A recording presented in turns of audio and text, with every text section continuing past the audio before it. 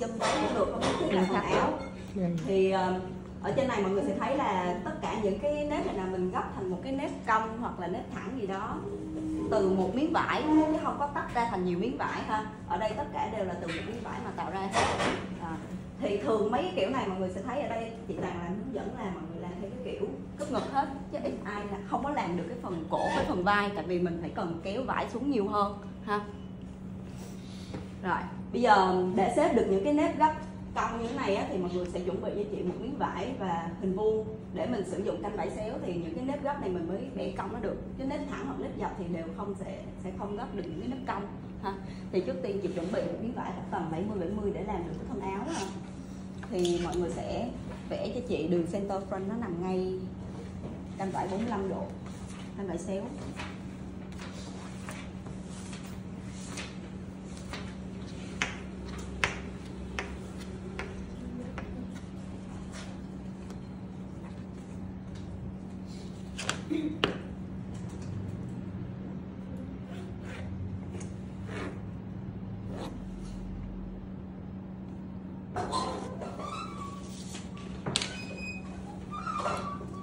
Tiếp nữa mọi người căng cho chị cái đường cúp ngực mà người muốn làm trước.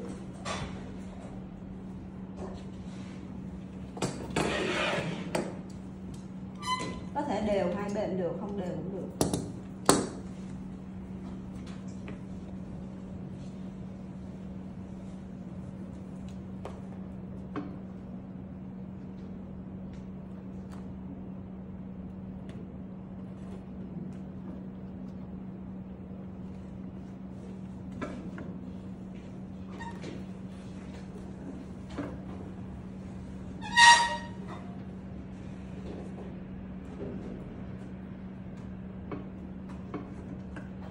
Và tất nhiên những cái mẫu như thế này thì phải có một cái lớp nền ở phía trong. Và lớp nền ở phía trong mà đẹp nhất thì mọi người sẽ rã cho chị theo cái đường um, princess line ha.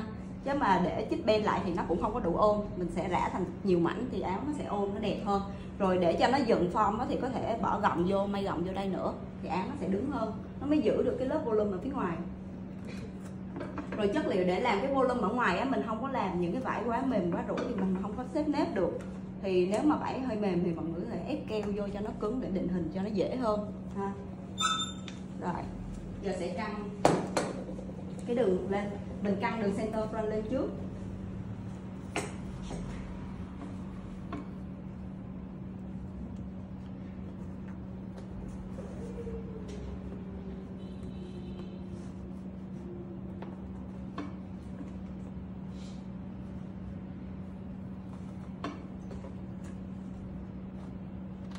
rồi thì nếu như mọi người chỉ cần vuốt cái này ra, vuốt cái này ra thì ở dưới này vải của mình ít không có vải để mình xếp cái volume nó bị giật nè, ha. Thì bắt buộc mọi người sẽ cắt cái này xuống, xả xuống tới cắt cái bên một cm ha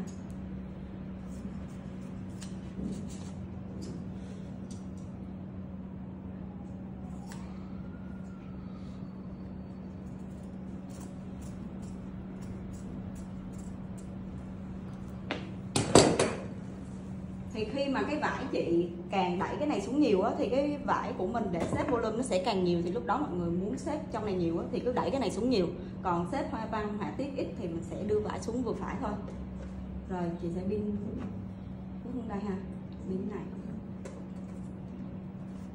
Rồi tiếp tục.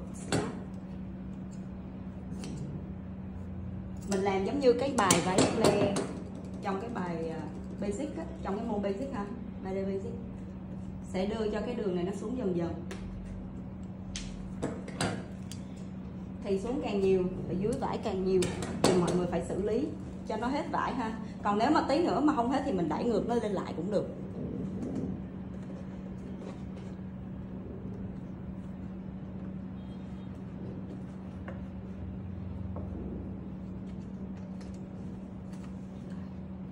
Nếu như mà muốn làm cho hai bên nó đối xứng với nhau á, thì mình lấy dấu ở đây, xong gỡ xuống sang dấu từ bên này bên kia, rồi xong mới pin lên lại thì nó sẽ đối xứng.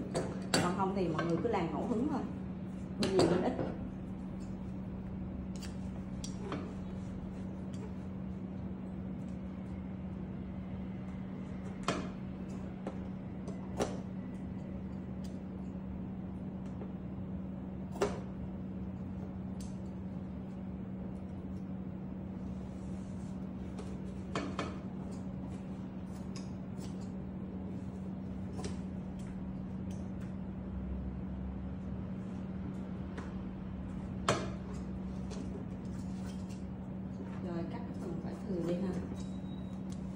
Cắt chừng xíu lỡ tí nữa mình cần xếp nhiều vải hơn cũng có thể kéo còn vải để mình kéo xuống.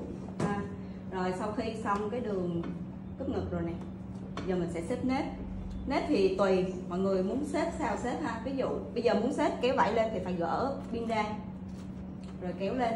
Thì khi mình xếp á mình còn không cần quan trọng cái đường center front nó nằm ngay đúng à, đúng canh vải nữa thì tại vì volume của mình nó không nhất thiết phải nằm đối xứng. Có thể là mình làm lệnh bên một bên xếp nhiều bên xếp ít cho nên là không quan trọng đường này nữa ha. Rồi giờ mình xếp ví dụ như chị chọn cái mẫu à, mẫu này chẳng hạn thì à, xếp một cái ly từ vòng bên này qua vào bên này.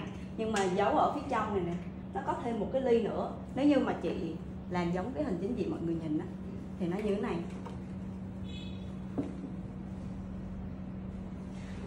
Nó sẽ dễ bị gãy cái, dễ bị gãy, cái phần này ha. Nó không có không có dựng lên cái phần ngực được. Cho nên là chỗ này nè, chị sẽ có thêm một cái ly nhỏ ngược lại nữa. Ở đây. Để cho cái phần này nó cao lên một xíu, cho nó phòng cái phần volume ngay ngược xíu ha. Một cái ly nhỏ ở đây. Rồi xong đó, một cái ly ngược chiều lại. Thì mọi người sẽ thấy là cái ly của mình nó sẽ mềm hơn, ha. Nó mới ôm được cái phần ngực.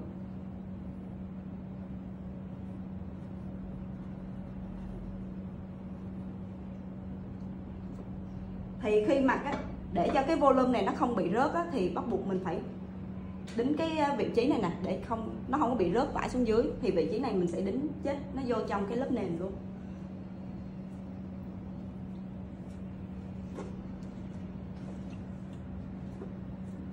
Dạ. Thì mọi người sẽ thấy ly nó sẽ dựng và được cố định nè. Ha tiếp. Xếp qua bên này bên này cũng vậy. Cái ly nó to mà nó dựng thì bắt buộc cũng có một cái ly nhỏ ngược chiều để cho cái phần này nó nó lồi lên. Nó đẹp hơn thì chị sẽ gấp một cái ly ở đây.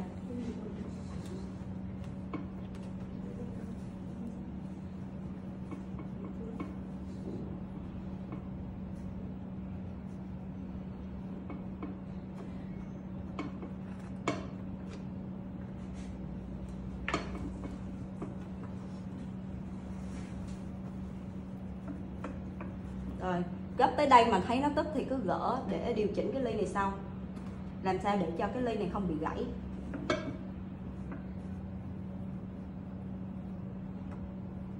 Và mình đừng có ráng vén hết vải vô trong này nha. Xếp hết vô thì tí nữa không còn vải để xếp cái ly tiếp theo.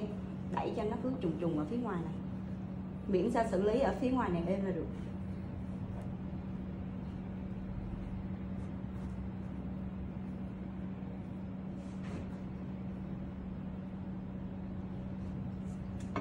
Tạm đây ha. Rồi kiểm tra cái phần thừa chỗ này.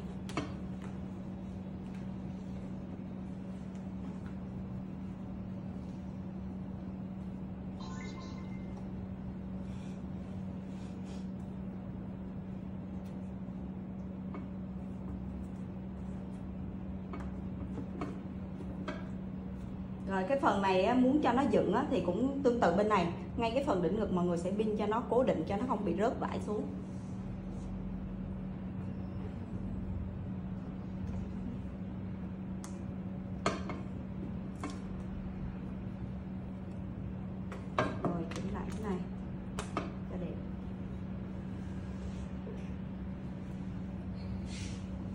Thì vải xéo thì mình làm được mọi đường cong ha, nó sẽ đẹp, dễ làm.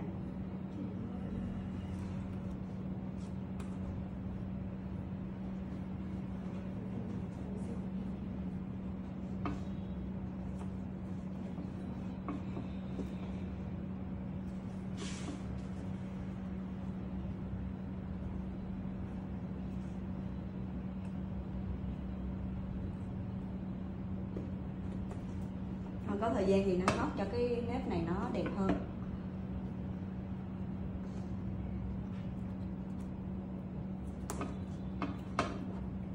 Chỗ nào nó, nó bị giật thì gỡ pin để điều chỉnh lại cái đường cổ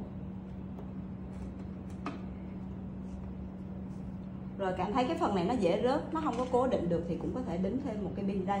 Thì tí nữa khi gỡ ra những vị trí mà mình đính cho nó cố định nếp nè bắt buộc phải thay thế bằng chỉ mình đính vô trong cái lớp nền, nó mới cố định được cái volume của mình sau khi sử dụng, sau khi giặt ha.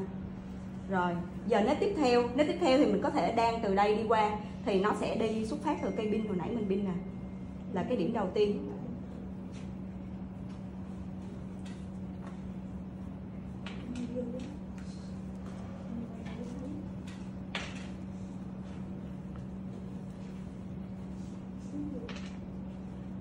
thì cái này, cái nếp này cũng vậy. Khi mà mình muốn cho nó cố định cái nếp này thì cũng phải pin cố định nó vô trong cái lớp nền.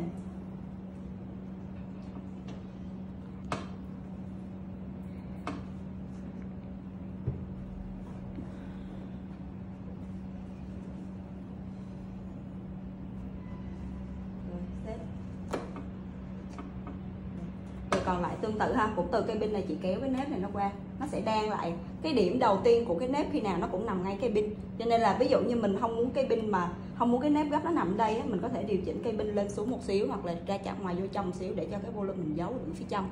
Ha mình có thể thay đổi được cái điểm xuất phát của cái cái đầu nếp xếp này.